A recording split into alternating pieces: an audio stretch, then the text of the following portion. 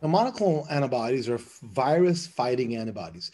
They're designed to mimic the immune system's ability to fight off viruses like the coronavirus.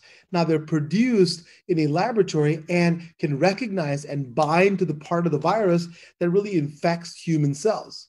Now, this treatment can be a game changer. Experts have started prescribing this therapy to treat fully vaccinated patients who've become infected with the coronavirus. Now, this may be surprising, right, to some of us because we know the vaccines are highly effective, but most who are hospitalized or die are those who have not been vaccinated.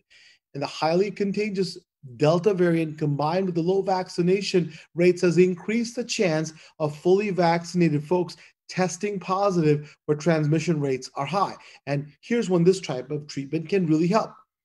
Now, not everyone is eligible. Monoclonal antibodies are administered to those who are considered to be high risk of getting severely sick and ending up hospitalized and possibly even dying, right? Typically, it's, it's folks age 65 and older, and those with cardiac disease, diabetes, obesity, asthma, high blood pressure, as well as people who have immunocompromised states, right? Your immune system is not working well.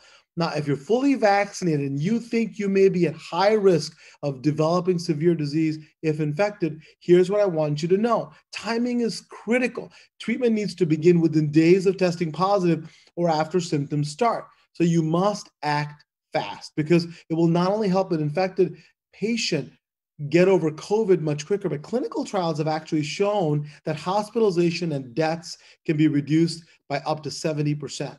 So that's that's a that's a big number. Now, you might be wondering are monoclonal antibodies safe for those who are fully vaccinated? The answer is a resounding yes. It's considered safe as the FDA has authorized this treatment. And the CDC has stated, quote unquote, that prior receipt of COVID 19 vaccine should not affect treatment.